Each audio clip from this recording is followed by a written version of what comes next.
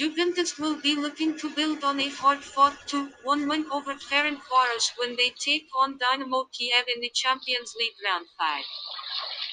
The Bianconeri have already booked their place in the last 16 of the elite competition, but they surely want to finish the process in top position in Group G.